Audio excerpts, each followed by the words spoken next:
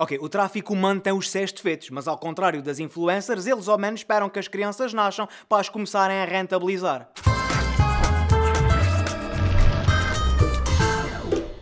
Olá e sejam bem-vindos ao Ordinário, o programa que põe as coisas na ordem. Eu não vou propriamente à bola com influências, quer dizer, na verdade eu não vou à bola com ninguém porque tenho lugar cativo na bancada dos sócios e é difícil arranjar companhia e quando arranjo companhia eles não podem vir para a mesma bancada do que eu, enfim. Mas pronto, o sucesso das influencers sempre me fascinou. E não estou a dizer que não é merecido, afinal, poucas coisas são mais meritocratas que a internet, mas é sempre tive alguma dificuldade em perceber as razões para elas serem seguidas e até idolatradas por tanta tanta, tanta gente ali, sempre lindas, na bitola dos mais exigentes padrões de beleza, bem vestidas, namorados bonitos, filhos bonitos, famílias bonitas, vidas felizes. Não é normal, não faz sentido. Portanto, se sou eu quem não consegue compreender este fenómeno, o problema só pode estar em mim. E nesse caso, só há uma coisa a fazer. Acabei de ter uma hora e meia de terapia com a minha psicóloga.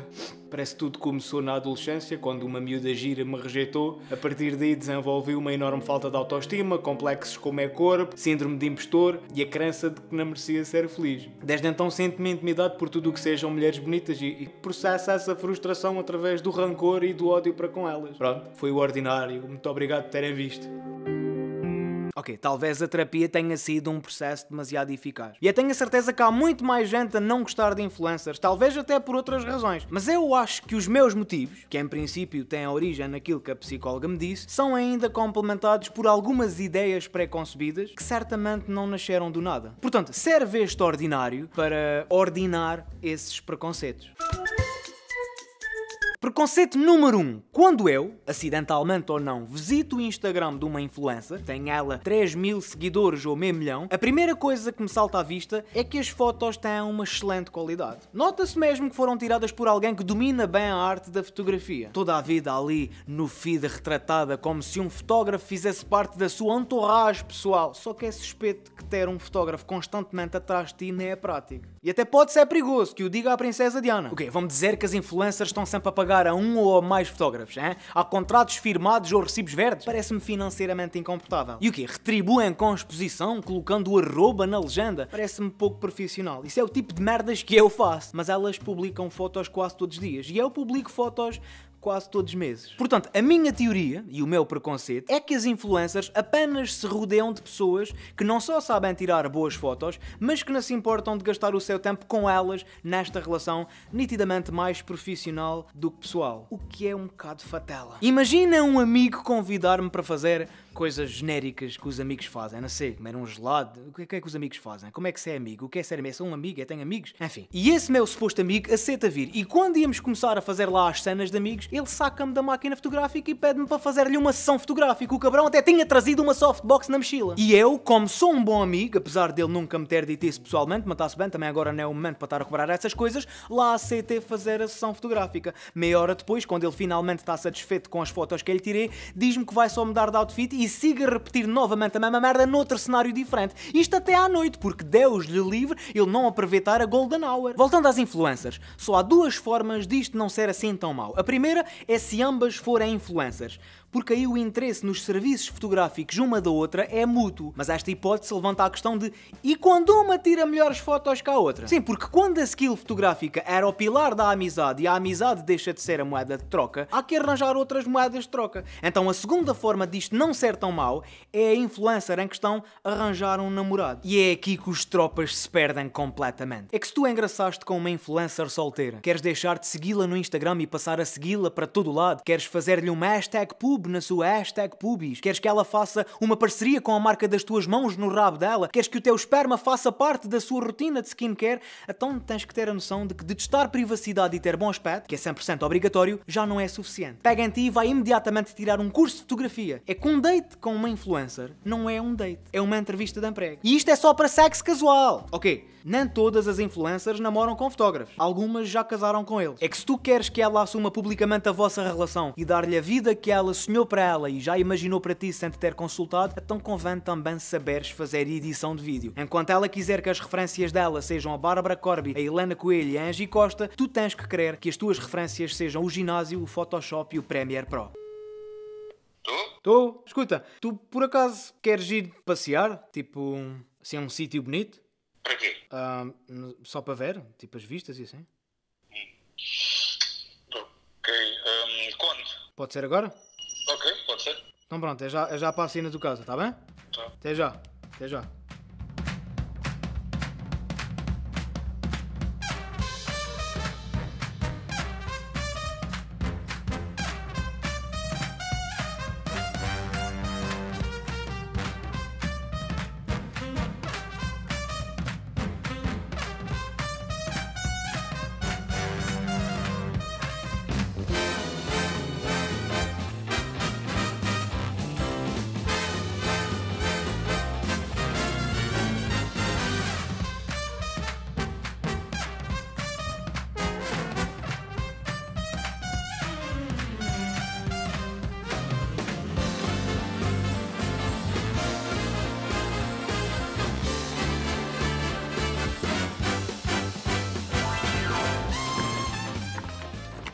Pá, obrigado, putas. Tenho aqui duas fotos boas para meter hoje, hein? Amanhã à mesma hora? Pô, caralho. Podem ver o vídeo completo no Patreon patreon.com barra Dário Guerreiro.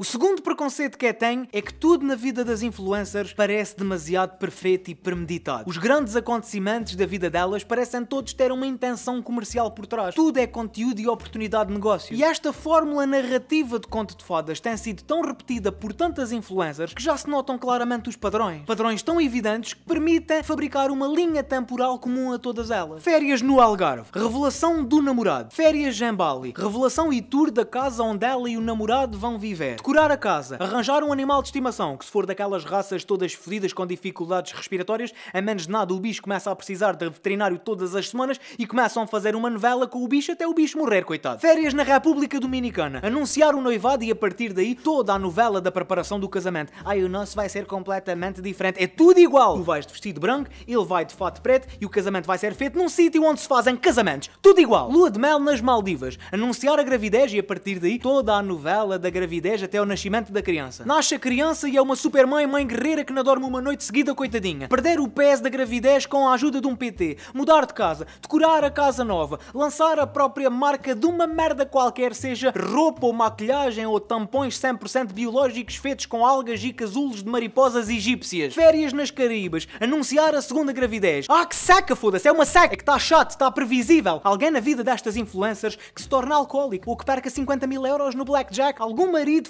farto desta vida de fachada que se enrola com um mês concorrente do Big Brother. É quer ver uma influencer a fazer um vídeo do tipo Olá e sejam bem-vindas à minha casa nova. Aqui temos o quarto que é fantástico porque tem um walk-in closet gigante. Vejam só, dá para guardar e para pendurar todos os meus pares de cornos. É que as influencers querem mostrar um nível de perfeição tão grande e mostram um desespero tal para agradar a toda a gente que quando inevitavelmente são humanas e põem a pata na poça, cai-lhes tudo em cima. Ah, diz alguma coisa sobre a guerra, diz alguma coisa sobre a Prozis. E elas depois cedem à pressão e pronunciam-se sobre temas que nunca dominaram, nem querem ou precisam dominar. É que se ao menos fossem honestas com o público e de vez em quando lançassem um videozinho a dizer malta, eu não sou nenhuma burra, mas também não sou nenhuma engenheira aeroespacial. Ontem fiz uma publi sobre as novas toalhitas Dodot e amanhã vou ter que falar sobre o novo batom de cera do Lidl. É de mim que vocês querem uma opinião de jeito sobre problemas estruturais que o meu privilégio jamais me permitirá viver. E a malta ia dizer, tem razão. Bem, sendo assim, mostra lá como é que te assenta no corpo esse biquíni da Woman Secret. Swipe, zoom, like, emoji do fogo e até amanhã. O terceiro preconceito é a constante incoerência entre aquilo que elas dizem e aquilo que elas fazem, nomeadamente no espectro dos clichês tipo aceitem-se tal como vocês são, que o vosso corpo é lindo tal como ele é, não existem corpos feios, existem amantes intolerantes, essas merdas. E as influencers, as mulheres, todos os dias têm uma oportunidade para aceitar o seu corpo tal como ele é. E no entanto, todos os dias fazem por corrigir alguma coisa que o seu corpo não lhes deu. Desde a cor do cabelo ao botox na cara, passando pela drenagem linfática, aumento das mamas, unhas do tamanho de lingueirões e por aí fora. Hoje em dia, uma influencer dizer às mulheres que devem aceitar o seu corpo tal como ele é tem a mesma validade que um padre dizer que não se deve ir ao rabo a crianças. E além disso, por serem escravas dos padrões de beleza vigentes, têm que fazer uma dieta à base de abacate, quinoa e tristeza. A única forma de vermos uma influencer comer hidratos de carbono à noite é se ele se chamar José Hidratos de Carbono da Silva Ferreira e souber tirar boas fotos. De maneiras que a atitude que este preconceito pede de mim é que vocês, meu estimado público, tomem toda a atenção nisto que eu vos vou dizer. Eu até vou dirigir na segunda pessoa do singular, que é para que tu sintas que eu estou mesmo a falar contigo. Pareço o Nuno Agonia, sempre que falo na segunda pessoa do singular. Sim, tu és lindo tal como és. E não, eu não estou a usar o género neutro, é apenas algravio, sempre falei assim. Não existem corpos feios. A vida é tua. Vive-a como quiseres. Se te apetece comer merda, come. Seja no espectro alimentar, seja no espectro afetivo. Sê feliz. Não ligues àquilo que os outros dizem, até porque aquilo que os outros te mostram não é uma amostra da realidade, é aquilo que eles querem que seja visto. Se queres que os outros te aceitem, primeiro tens que te aceitar a ti e ao teu corpo. E pronto, acho que não me esqueci de nenhum clichê de merda. Se gostaram deste vídeo e querem ajudar-me a produzir mais e com melhor qualidade, considerem passar pelo meu Patreon em patreon.com barra onde por apenas 2 eritos por mês que podem desistir quando vocês quiserem, além de me apoiarem, podem ter acesso a uma porrada de conteúdos exclusivos, incluindo o vlog da minha sessão fotográfica e a minha primeira e provavelmente última pedicure. Ai, mãe deve estar aí por baixo das unhas, deve estar aí um bar. É, tá. Já disse, toda a vida nunca tirei nada daí. É só minha aquele homem tem os braços todos partidos. Agora faz a posição do epá no cagalhão. Do? Empá na cagalhão. É? Este calção favorece-me o cu. Pelinhos dos pés vamos tirar, não é? Muito obrigado por terem visto e adezinho!